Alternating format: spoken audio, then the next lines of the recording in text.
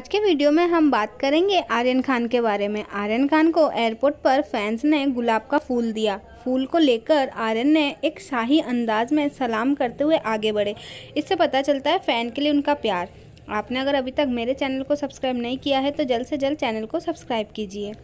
बॉलीवुड के किंग खान, शाहरुख खान के बेटे आर्यन खान वैसे भी काफ़ी समय से सुर्खियों में थे, और अब तो उनके नेगेटिव की जगह पॉजिटिव चीज़ों को लेकर सुर्खियों में है। हाल ही में एक वीडियो सोशल मीडिया पर वायरल हुआ, जिसमें उनके फैंस ने उनको एक गुलाब का फूल दिया।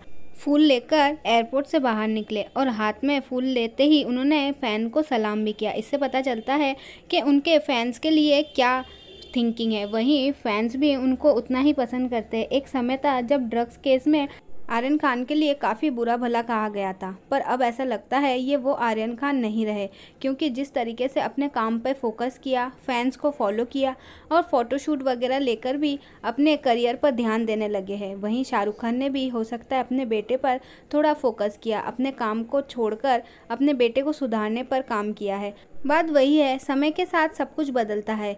धीरे धीरे पुरानी बातें सब ढक गई है। अब जैसे जैसे आर्यन खान अपने करियर पर काम करेंगे वैसे वैसे ही आर्यन खान को लेकर पॉजिटिव चीज़ें सामने आएगी। हाल ही में आर्यन खान की फ़ोटोशूट काफ़ी वायरल हो रही है, जिसमें एक स्पोर्ट्स ब्रांड की फ़ोटोशूट किया है और फ़ोटोशूट की फ़ोटो देखकर शाहरुख खान ने यह भी कहा कि मेरा बेटा बिल्कुल मेरे पे गया है, इसीलिए मेरे स्टाइल में फ़ोटोशूट करवाया।